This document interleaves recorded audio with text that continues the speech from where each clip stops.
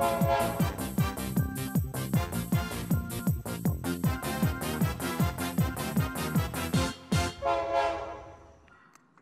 right, I think it's time. Are we ready? I have to tell you something funny before we get into this talk, though. I decided it would be cool to have my five year old daughter do the illustrations and the pictures for this uh, talk.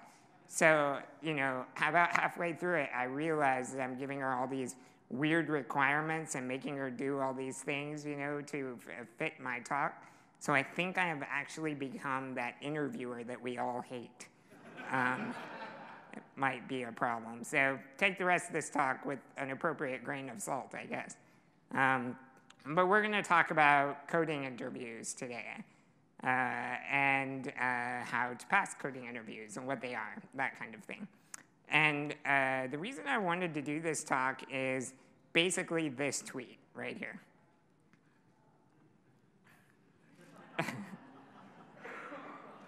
this is where I got the name from the talk, by the way. Uh, and it's true, right? It's true. It's sadly true. Um, and I feel like that uh, what we do in interviews and what we do in our day jobs, there's a bit of a disconnect there, and we don't spend enough time talking about the interviewing side. So let's talk about the interviewing side. Uh, these are the coding interviews I'm familiar with that are in wide practice. You can have take home problems where they give you some challenge that you work on with or without a time limit. Um, technical interviews where you, you work with one of their employees often involve some kind of pairing, but it's probably not like normal pairing like you do on the job. Mostly it's them watching you struggle to figure out some problem or uh, something like that, maybe providing a little bit of insight or uh, questioning. Uh, there's the whiteboard interview where you're programming on a whiteboard or in a Google Doc or something like that. Uh, and then there's, I've seen auditions where people have you uh, do some real work on their uh, application, either on your own or with help, uh, and then they judge you based on that. So I work at NoRedInk, and as part of my job, I uh, do I grade take homes, I do technical interviews. Uh, so I see a lot of what doesn't work. Um, and uh, I think I have some tips that I can give to help you uh, get past those problems. And it's kind of in my interest to do so, right? Like, if our director of engineering comes to me and says, let's hire eight new people this year, if I could find a bunch of good programmers, say like in May, then I could take a few months off from interviewing, right? So uh, that would be just great. Um, okay, this talk comes with caveats for sure. uh, first of all, you know, there's no guarantees. I am going to tell you the major mistakes to avoid, um, and I'm, I'm going to try and raise your chances in interviews, but it's well known that the mood of your interviewer, their level of training they've had, uh, these are all things that are out of our control. So it's definitely a numbers game. I'm sorry about that. I wish it wasn't, uh, but it is, and uh, that's, that's something we can't fix uh, from this talk. I'm also not going to judge the various interviewing practices. Uh, I think there's things our industry does well. I think there's things, plenty of things our industry does not do well. Uh, that's a great conversation to have, but that's not this conversation. There was a really good talk yesterday called Hiring People with Science. If you didn't catch that talk, you should probably watch the video. It gets into some of this, and it was really good. Um, also, I am not familiar with every kind of interview out there. Uh, for example, the whiteboard interview, I've never taken or given one, so I won't have much to offer there aside from general tips. And finally, if you do everything I tell you to do in this talk, it's going to take a lot of time, and your uh, spouse and family is, are probably not going to be that happy with you. So it's up to you to apply, apply the appropriate filter of how much you should do here. And and uh, for your needs. Okay, caveats aside, let's talk about what you can do. Um, the worst thing you could do is show up to the interview and then start trying to pass the interview, right? Um, you need to do some things to get ready uh, to help swing the odds in your favor. And the first one is to study. interview questions are pulled from a well-known subset of computer problems. So uh, if you are more familiar with those kinds of things, you're going to do better in the interview. And uh, it may not be stuff that you are using every day in your job. So if that's the case, it's really important that you kind of load this back into your brain. These are some of the concepts I think are the most useful. I've cross-checked this list with a couple of different sources. They all pretty closely agree, and I've kind of uh, put my own interpretation on it. Uh, I've kind of arranged it so that uh, the most important stuff is at the top and to the left. So if you kind of work your way this way as you have time, I think it's probably the most helpful. Uh, but these are things that you need to know. And it's not that I, I think you will be asked to implement a binary search directly, but sometimes just being familiar with uh, these concepts can help you in, uh, in some ways in an interview. And we'll talk about that. So I stuck big O notation in the upper left, which might seem a little bit surprising, uh, but I think it's more important than people give it credit for. This is a tool for understanding how long your code's going to run or how much memory it's going to eat up in the upper bound. And I would say that I think it can actually help you solve problems easier. Um, we'll get into that in just a second, but take a look at these lines. These are different uh, common complexities for algorithms. And it's a big difference if you're on that green line that slowly climbs up, whereas if you're on that orange curve, which is almost a straight ride to the top, right? Uh, that's a big difference. And understanding the difference between these can be very powerful. So I think big O notation kind of gets a bad rap. I think we think of it as a formal tool that only matters when we're you know, documenting something or, or things like that. Uh, but I don't think that's the case. I, I, really do believe it's useful even in uh, programming and, and maybe even more especially in interview style programming. So let's take a, pick, a quick big O notation quiz. Let's see if you remember uh, how much you remember. So I'm going to give you a few seconds. Think in your head of what you think the complexity of this code is, and then I'll show you the answer. Okay, got a guess? This one is big O of n. It's a linear algorithm, right? The two important bits are right here. We scan over the data, the entire set, twice, summing once and multiplying the second time. Um, that would be 2n, but in big O notation, we drop constants and non-dominant terms, so it's just n, right? It's linear. Uh, how about this one? This is the classic recursive algorithm of the Fibonacci sequence. I'll give you a few seconds. This one is big O 2 to the n. And I wanted to show this one because if you run into recursive algorithms, there's a formula you can use to figure it out. So this line right here is the important one. It's however many branches there are, and then however uh, raised to the power of the depth you have to go down. So in this case, we're making two recursive calls, one with i minus 2 and one with i minus 1. And we have to go down however many uh, uh, steps in the sequence uh, based on the parameter that's passed in. So uh, that's a formula for figuring out recursive algorithms. Okay, this one's more complicated, so super bonus points if you get this one.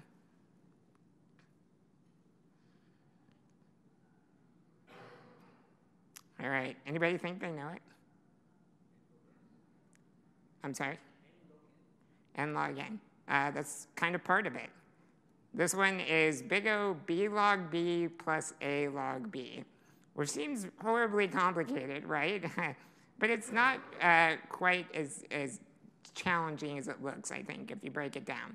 So this is the sort right here.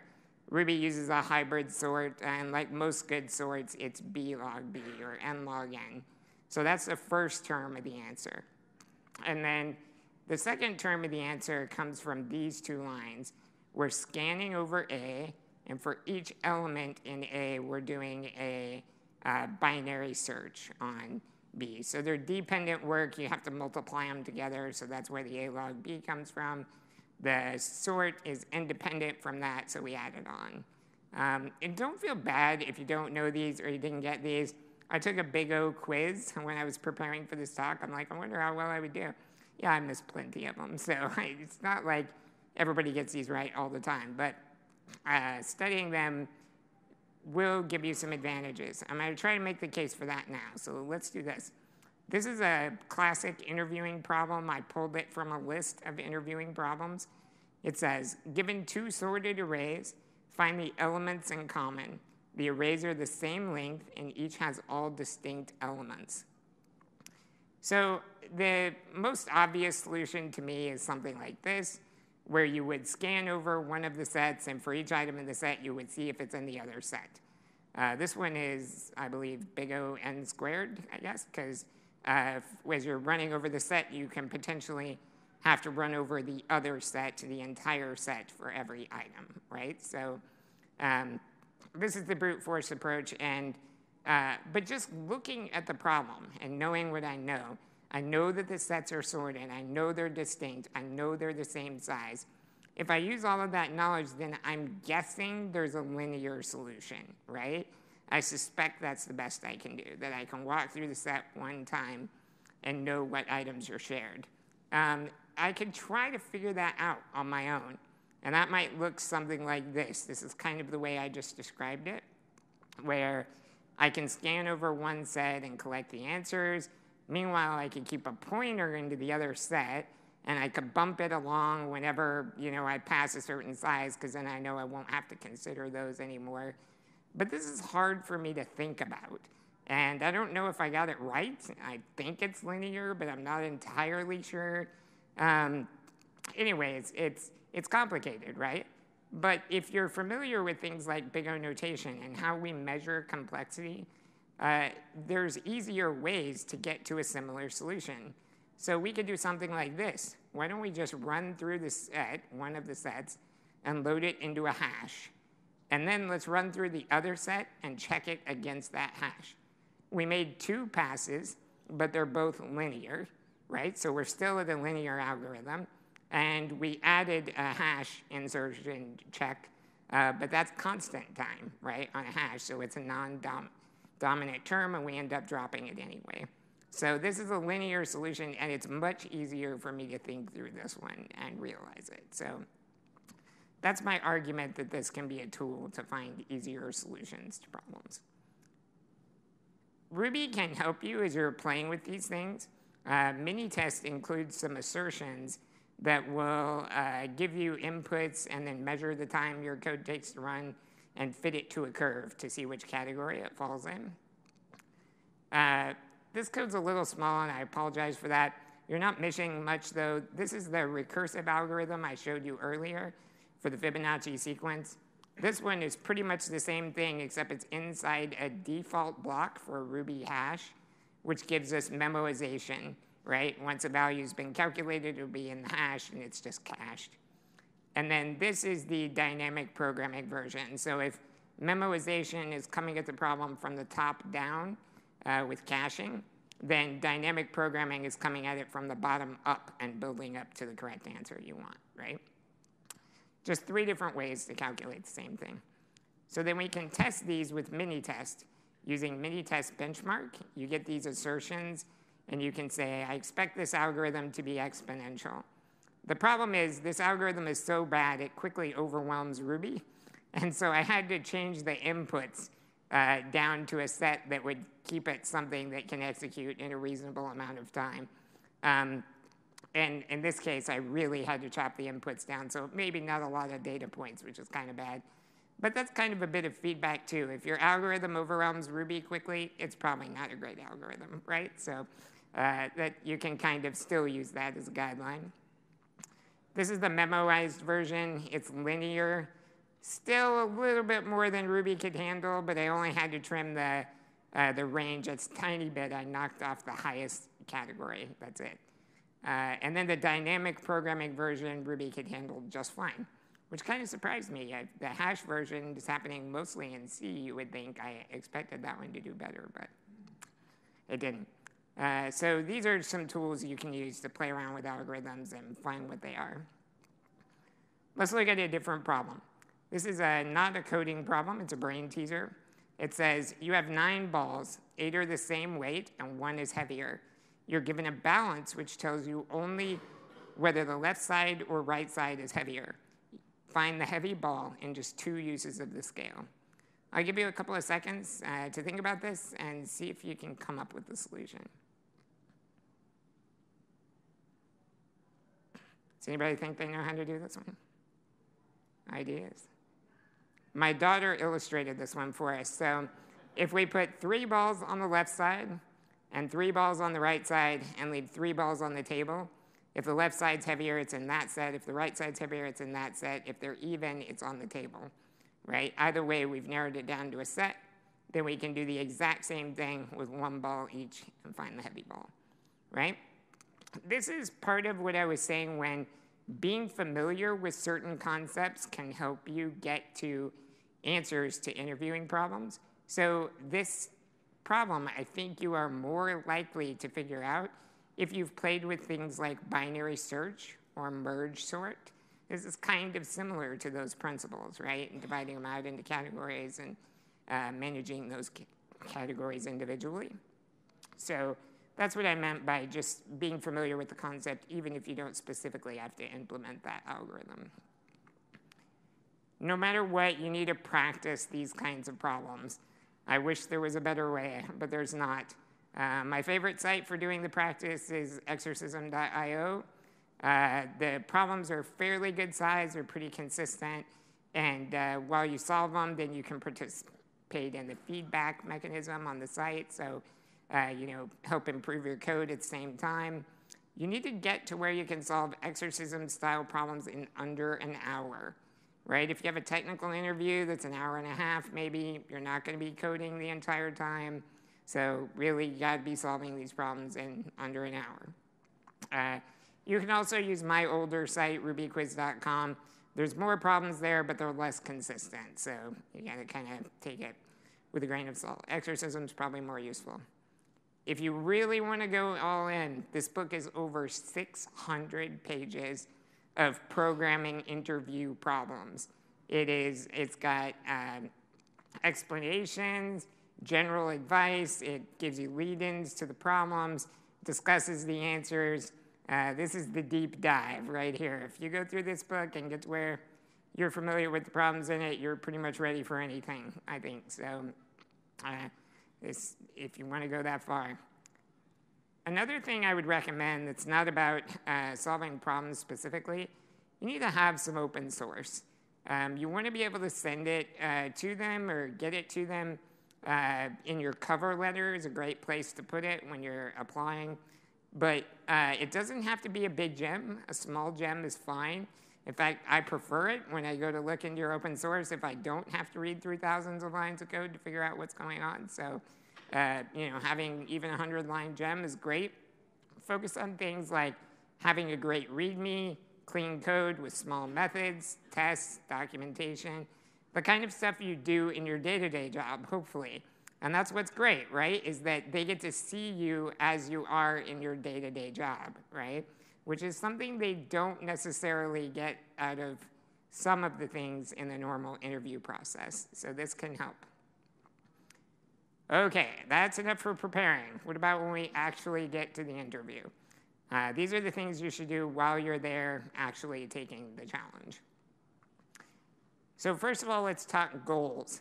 Your main goal is not to be seen as a bad hire. We have lots of information that tells us that good hires are good, but bad hires are really bad, right? It's not just the performance of the bad hire itself, they drag down the performance of other employees. So it's like a multiplier, right? It's bad. So companies are optimizing for avoiding bad hires, which is good news, actually. It means if you can avoid making major mistakes, you look a lot better than a lot of other people. so really you want to try to just avoid making major mistakes. That should be your primary goal, okay? And I'm going to give you some tips for things you can do to do this. Number one, you have to read carefully. You must understand the problem you are trying to solve, or you are not going to solve it well, right? This is uh, pretty straightforward. If you're being given the problem verbally, you have to ask clarifying questions until you really have your head around it. There's two reasons for that. One, you have to understand the problem. We've already talked about that. But two, if you are taking the problem from someone else, then your goal is to get that person on your side. And it begins with this conversation, right? Of specking out the problem, understanding what you're trying to do. Uh, that's what you're trying to accomplish here. Uh, and a lot of people make this mistake. It's a basic mistake. Um, when I interviewed at NoRedInk, a very nice guy, Michael Glass, who interviewed me, gave me a problem to re-implement set timeout in Ruby. And the very first thing I did, I was like, oh yeah, set timeout in Ruby. I know what we're talking about. And I just cracked open a text editor and started writing a test about um, how I was going to test the different threads going on. And Michael's all, uh, no, no. In JavaScript, there's no threads. There's just this one, you know, uh, stream of execution. I want you to do it like that. Oh, yeah, that. so, you know, everybody makes this mistake. You have to understand the problem. It'll save you. Following directions. This is important. Uh, lots of people don't do this. It's a little bit shocking. Um, here, I'll give you a pop quiz. Let's play a game. Uh, if the problem says you should use Git, should you use Git? Yes or no? Yes, this is a good idea, right? If they said that, then uh, they have some reason for it, something they're trying to get out of it. Like maybe they're looking at how you structure your commits, how big they are or not. Um, perhaps they're checking the amount of time it took you between commits. They can see that.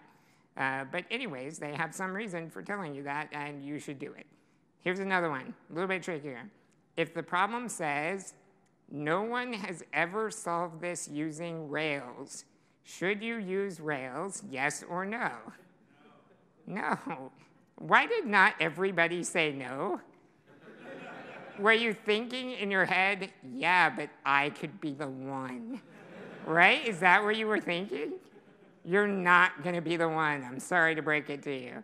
And you don't need to be. Why tie one of your hands behind your back? Why make it harder? Why don't you try to just solve the problem well? That's easier, right? Um, so don't do it. Don't, don't do that. Stop and think. As programmers, we are just, you know, we'll jump right in, we'll start coding, it'll come to us. We can always refactor, right? Uh, yeah, okay, but if you're on a time limit, you gotta use your time well, right? And using five minutes to make a plan so that you use the rest of your time better will pay you back, right? It, it's okay to build a plan.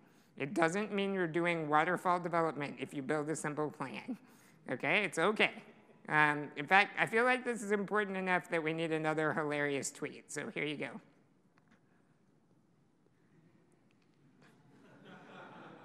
right? Okay. When you're doing this thinking, you have to think out loud. And this is tough for some people, and I really feel for you. I know that some people struggle with this. Loudmouths like me, we have no problem with this. We can't stop talking. But uh, some people do struggle with this.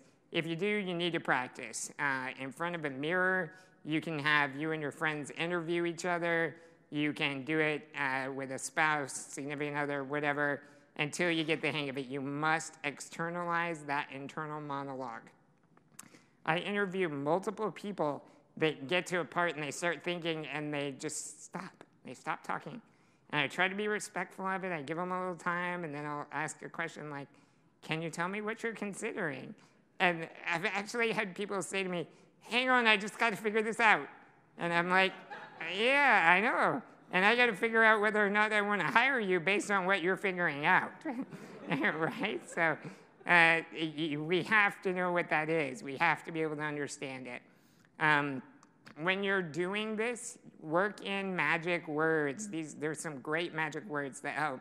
My first thought is whatever. After that, it almost doesn't matter. I don't care if your first thought's a terrible idea, right? It was your first thought. And then I get to watch you walk through the process and see if it's good or bad, right? Uh, I'm considering the trade offs. I love hearing this one. Hopefully, you know by now that all of programming is trade offs, uh, and you're always you know, weighing one thing versus the other thing. If you tell me you're considering the trade offs and then you make a choice that I wouldn't have made, I won't hold that against you. I know that you know that there were trade offs involved and you, for whatever reason, your experience told you this path was better, that's fine by me. If you're considering it, I'm good. I might circle back to this. All programmers write code they don't like. Hopefully, you know that too. Um, and we, you know, write things and we're like, I'm not totally satisfied with that. Maybe I'll come back when I have a better idea. It's great to hear that, that you know that, that you're aware of that, that you'd love to improve it. But right now, you're going to get on with solving the problem. These three magic words are the most important. I don't know. Say it. I don't know. Apparently, this is very hard for people to say. very hard. If I can't make you say I don't know in an interview, it's a huge black mark against you, as far as I'm concerned. Um, it's think about the one thing you know really, really well, maybe better than anybody. Maybe it's Ruby programming, maybe it's uh, golf, uh, maybe it's painting your Warhammer 40k miniatures. I don't care. One thing you know really well think about how much it annoys you to listen to other people talk about that thing when they clearly don't know what you know, right? that is you in every other subject, okay? There's a lot of things we don't know you need to get comfortable with admitting that, right? Like, there's no reason not to say that. There are things your interviewer doesn't know, right? And it, you just say, I don't know. It's not that hard. Say I don't know. Yeah, right, I don't know. okay, I wish I didn't have to have this slide in there, but uh, um, we interviewed a candidate uh, who was uh, doing a, CSS recreation of a page on our site that happened to include a woman model, and they were making sexist comments about the woman model as they worked. Please don't do that in an interview on the job ever. Um, just don't, right? We want to know that you have a personality, a sense of humor, that would be great, uh, but please keep it appropriate. If you are a five year old, deciding which dessert you're going to have is the hardest decision of all. Uh, if you're given an interview problem, there's a hard part in the middle, the core of the problem. It's a search, a sort, algorithm, a, a thing that does the work, transformation of data. The interesting bit, that's the part they want to see you do. Start there. Do that first. This is the most common mistake I see people make in solving problems. They read the problem and they think, oh, yeah, I know what they want me to do. I know what they want me to solve. They start building this elaborate object tree, doing all this setup work, data import, beautiful UI. Whoops, time's up. That's what they submit. You know, they didn't do the problem. They didn't get to the thing. If you run out of time, you want to have know you did the thing right? The important bit. You, you can always say, oh, I didn't get to the data import, but that's like two lines of CSV code or whatever, you know? But you want to have worked on the interesting part. So start there. Also, while you're doing that really interesting part, because you're faking out input and you're hard coding decisions from the UI, go ahead and just make it a test case. It's the same thing. It doesn't cost you any extra time. You can test the success case, you can test a couple of edge cases, and here's the killer secret no one does this. No one. So, this is a massive advantage, and it doesn't cost you any extra time. You don't need to test the whole thing. When you get to the data import and the UI, whatever, drop the testing. That's fine. But when you're doing that core bit at the beginning, test it you will look amazing. No one does this. It's a great secret, I promise. Avoid dependencies, right? Unless the problem specifically says you're working with something, the interview problems are of such a scope that they're, they're simple problems. They're not the kind of thing where you need to drag out Rails. Don't do that. They don't want to see that. They want to see if you can think through a simple problem. They want to see if when the sales team asks for a certain report, are you going to be able to take some data, munge it around, and come up with it, right? That's what they're looking at. Um, also, don't use Rails means don't use Rails, and it also means don't try to recreate Rails and then use that. Um, just, that's wrong scope, wrong scope. You're off the map, right? Uh, keep, it, keep it simple.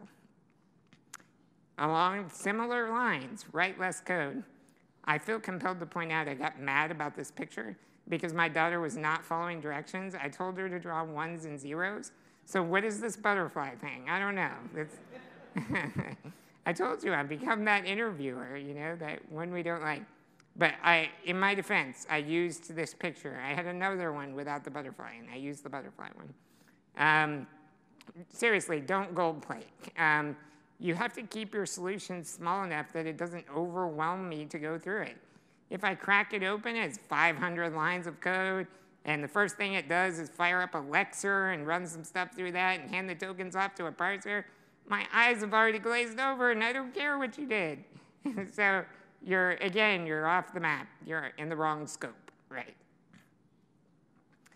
Ignore bonus challenges. Don't do it. It's not worth it. It's a trap, okay? It's a trap. Luke, it's a trap. Um, yeah, don't do it. it. Here's the problem with bonus challenges. They, uh, they often involve extra work. You probably have to do more data import. You got to write some extra UI code. And here's the insidious part. When you read it, you think, oh, I'm going to write my solution so that when I have time and come back, I've already set it up for the bonus challenge. Okay, you're not going to end up having that time. So you're not going to come back, and what you did is you made the main problem harder. Right? Don't do it. Ignore the bonus challenge. It's not worth it. If you do that part of testing the core, it's worth 10 times the points of the bonus challenge. Just test the core bit, forget the bonus challenge. This is good news for you. When you read the words extra credit, you can interpret them as I can completely ignore this. It's great. It's, like an advantage.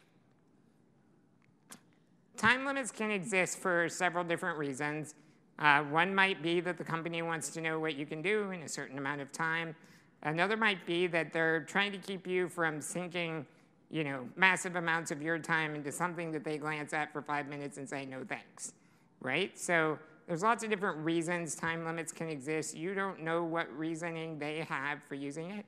So if you're working on a problem and you're close and you're not done, go ahead and submit what you have at the time limit. Then if you want to finish it, go for it. Finish it. If you're, you know, 30 minutes over the time limit, wrap it up, send it in to, and say, you know, had the problem in my teeth, wanted to find that last bug or wanted to handle this other case. Uh, here's what I got, feel free to ignore, right? They can do that. You already submitted what you submitted on time. They may ignore it, they may go with that one. But uh, for me, I will always grade the later one. Um, for me, knowing that you wanted to finish the problem means way more to me than what you could do in the specific time limit. So uh, that, uh, you know, it can't hurt, right? Go ahead and submit. And finally, if you are taking the interview face to face, you need to practice your text editing skills. Get good at it. Uh, this is a bias, but when people watch you using your text editor and they see you using shortcuts, they think that you work with code all the time, that you've developed these coping mechanisms, that um, you've practiced it, and so you, you come out looking better, more prepared. You don't need to know every whiz-bang feature in your editor. If you're like me and you use Emacs, that's literally impossible. Um, I won't live long enough. But uh, you need to just pick five. It doesn't matter. You won't have that much time to show off that many anyway. Make sure one of the ones you pick is multiple cursors or macros because these are wow features, right? Whenever you see somebody use multiple cursors or macros, you're like, whoa, how did they just change those 10 things at once? That's amazing, right? So it sticks with you. Um, just make sure you have some, some editing skills to show off. You probably won't work all of these in every time. That's okay. Uh, interviewing is hard for everybody. That's kind of the point, right? They're watching you struggle with a problem. They want to see you struggle. It's supposed to be hard. Um, but everybody else is doing that too, right? You're not competing against the problem, you're competing against the other candidates, right? So avoid the major mistakes and you're going to look pretty good compared to those other candidates. Um, so it's okay for it to be tough. But if you work over these things and practice these things, I believe they will increase your chances. All right, thanks for your time and good luck with the interviews.